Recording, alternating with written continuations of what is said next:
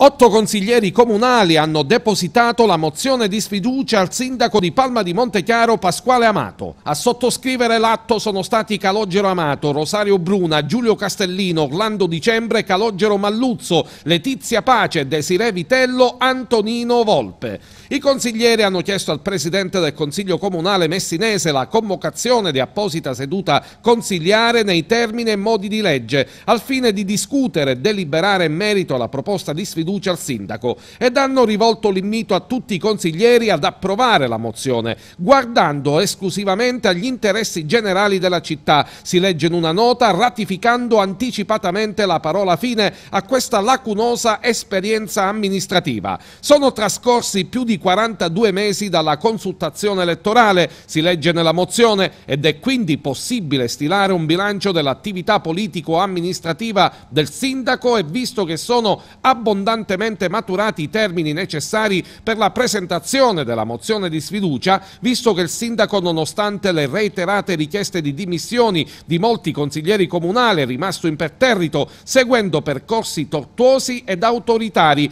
nominando altresì una giunta che politicamente non rappresenta niente nessuno. Svariati punti del programma elettorale del sindaco non sono stati raggiunti e che altri sono stati completamente disattesi. L'azione politica politico-amministrativa del sindaco non ha migliorato significativamente le condizioni generali del paese, che gran parte della cittadinanza ha di fatto sfiduciato l'attuale capo dell'amministrazione. La quasi totalità delle liste dei consiglieri che hanno contribuito all'elezione del sindaco sono ufficialmente usciti dalla maggioranza, fatto che normalmente doveva portarlo alle dimissioni, che appare opportuno ricordare a titolo esemplificativo alcune lacune che hanno caratterizzato l'azione amministrativa del sindaco pro tempore, ha focalizzato oltremodo l'attività amministrativa su iniziative di carattere culturale e di rappresentanza che, seppur lodevoli di fatto, non hanno portato alla città i risvolti positivi auspicati.